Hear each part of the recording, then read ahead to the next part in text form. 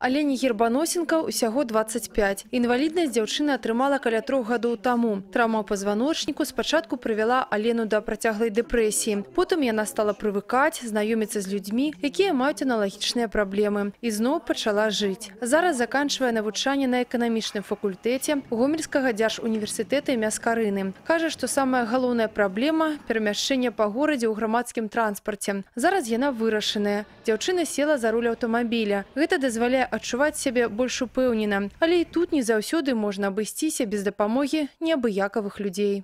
Когда вот был снег, машину приходилось очищать от снега.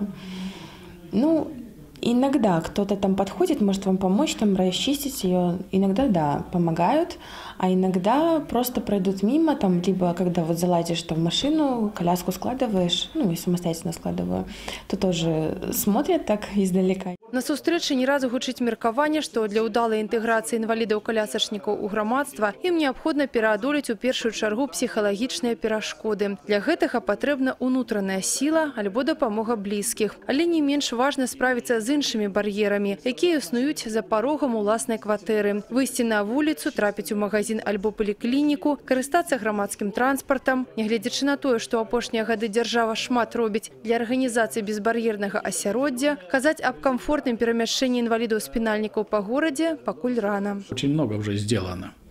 Но вопрос в другом. О качестве э, объектов безбарьерной среды. Они, конечно, еще не всегда бывают э, выполнены в соответствии со всеми требованиями.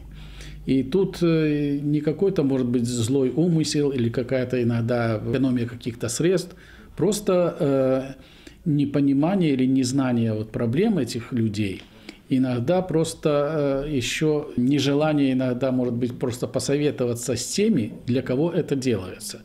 То есть без нас, для нас что-то делает. И тут э, здоровый человек не всегда может предусмотреть все, все требования. Зрабіць жыццё такіх людзей больш камфортным і радасным можа кожны з нас. Напрыклад, дапамагчы заехаць у аўтобус, перасячы склізкі пешаходны пераход, не займаць парковачнае месца, прызначанае для аўтатранспарту інвалідаў. Калі мы адварочваемся ад праблемы, то гэта не значыць, што яна знікае. Мы можам дапамагчы вырашыць яе разам. Марына Север'янова, Валерый Гапанько, тэлерадыёкампанія Гомель.